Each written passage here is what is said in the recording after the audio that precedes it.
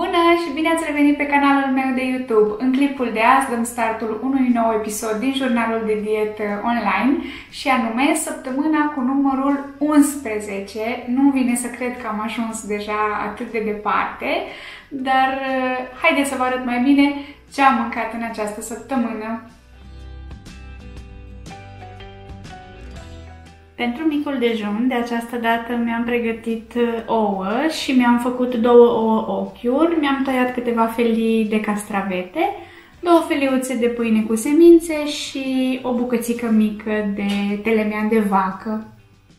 Ca și gustare de această dată, am avut o variantă rapidă de sneakers făcut acasă, ca să zic așa. Este vorba despre curmale pe care le-am uns cu puțin unt de arahide, iar deasupra am pus câteva bucăți de miez de nucă.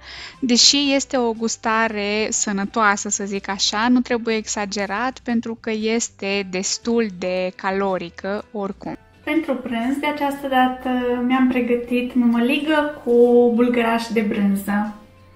De această dată, ca și gustare, am ales să mănânc rodie și câteva felii de ananas din conservă, dar am ales să folosesc o conservă fără zahăr.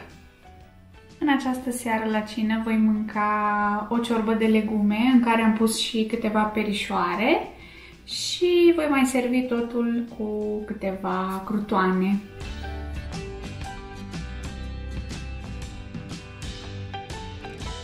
Pentru micul dejun am ales să mănânc sandvișuri și le-am făcut din uh, pâine integrală cu semințe, pe care am uns-o cu cremă de brânză. Apoi am adăugat câteva feliuțe foarte, foarte subțiri de salam uscat, două, trei feliuțe de cașcaval și felii de castravete. Pentru mine e sandvișul delicios.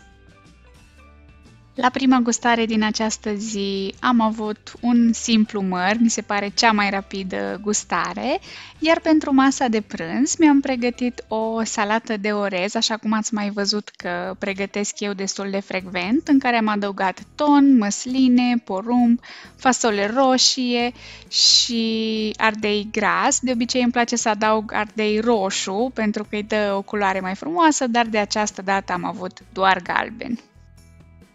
La gustarea de după masă am avut miez de nucă și câteva smochine. Mie îmi plac foarte mult smochinele, nu știu cum de nu m-am gândit până acum la ele. În această seară la cină voi mânca brânză cotici. Am aici o brânză cotici cu 2% grăsime și mai am alături câteva feleuțe de pâine integrală. Pentru micul dejun, în această dimineață mi-am pregătit uh, sandvișuri, dar de această dată mi-am pus roșii deasupra. Așa cum am avut și zilele trecute și de această dată mi-am pregătit o gustare în care am folosit curmale, unt de arahide și miez de nucă. E o gustare rapidă și delicioasă. Pentru prânz, de această dată, voi mânca o tocăniță, un fel de gulaș pe care l-am gătit la slow cooker și am folosit pulpă de porc, um, ceapă, ardei, am mai folosit două lingurițe de pastă de ardei și la final am adăugat uh, sos de roșii și câteva găluște din acelea de tip uh, gnocchi și voi mânca totul alături de câțiva castraveciori uh, murați. Pentru cina din această seară am avut trei uh, brioșe aperitiv. Rețeta o găsiți la mine pe canal. Sunt brioșele de gen uh, drob, care au ou în mijloc, dar foarte, foarte ușor pot fi făcute și în restul anului. Așa cum v-am zis, am mâncat trei alături de câteva felii de roșie.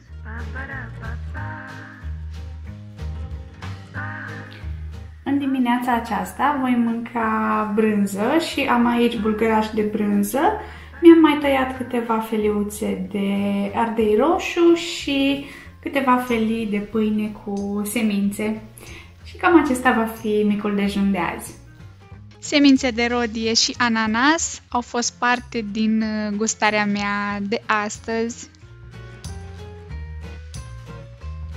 La prânz voi avea paste. Am aici paste integrale cu sos de roșii și busuioc, iar deasupra îmi voi adăuga ton.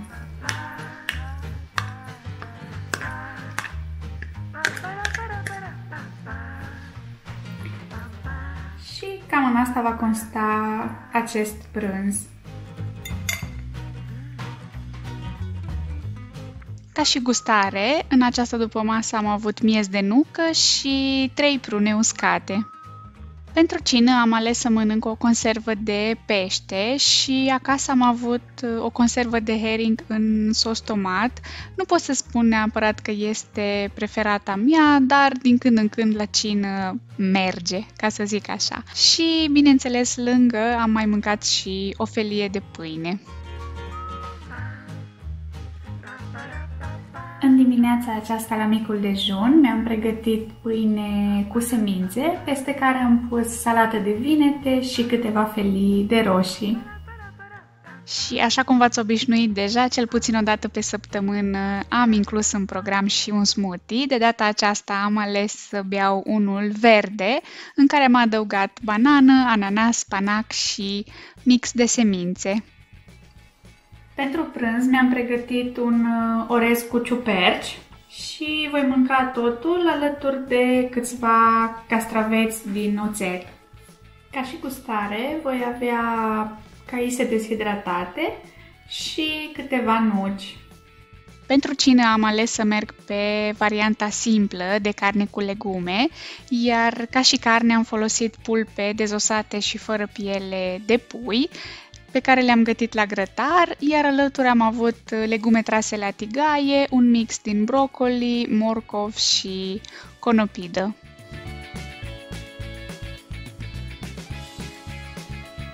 În această dimineață, la micul dejun, mi-am pregătit un terci de ovăz, peste care am pus puțină miere, o banană pe care am tăiat-o felii și câteva căpșuni congelate.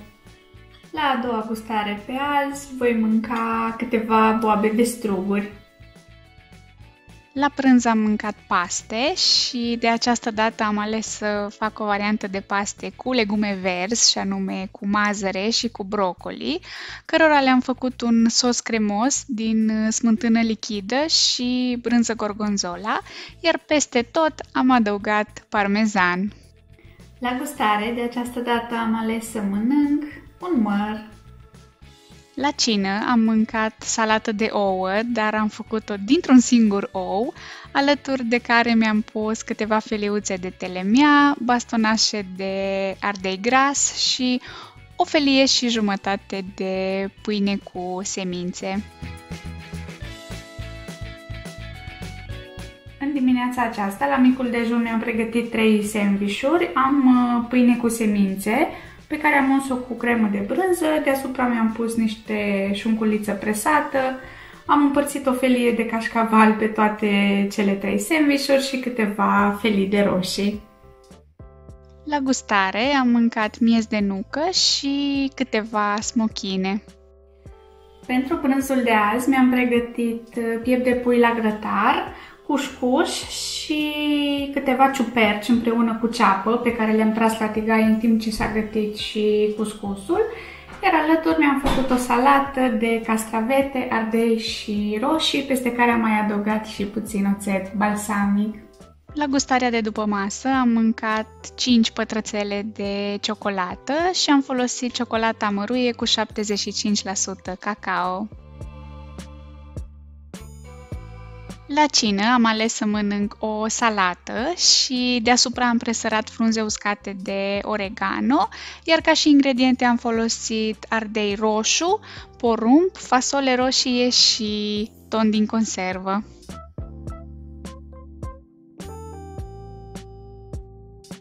Cam așa au arătat mesele mele din această săptămână. Eu sper că vi s-a părut interesant, iar acum vă las să urmăriți rezultatele și modificările care au fost atât în kilograme cât și în centimetri. Am ajuns și în momentul cântăririi, iar de această dată cântarul arată 87,7 kg.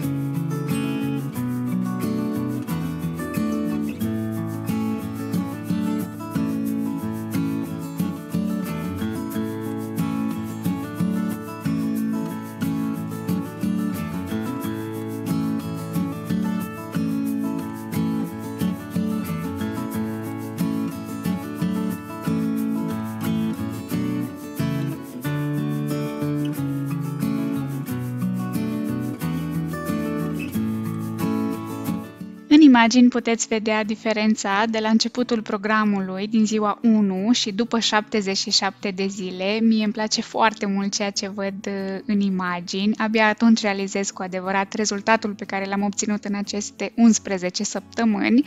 Sunt foarte mândră de mine, trebuie să recunosc, dar uh, înainte de a trece în revistă rezultatele acestei săptămâni, aș vrea să menționez că încă de săptămâna trecută am început să fac mișcare pe lângă plimbările pe care le fac o dată de două ori pe săptămână, am început să fac și cam 40 de minute de exerciții cardio pe care le fac acasă și mă străduiesc să le fac de cel puțin 2-3 ori pe săptămână. Iar acum vreau să vă spun și care au fost rezultatele acestei săptămâni, și anume minus un centimetru în torace, minus un centimetru în talie, minus un centimetru în coapse, atât în cea stângă cât și în cea dreaptă, și minus un centimetru în circunferința ambelor brațe și, bineînțeles, în ceea ce privesc kilogramele, de această dată a fost minus 1 kg 200. Eu sper că v-am inspirat, sper că v-a plăcut acest video.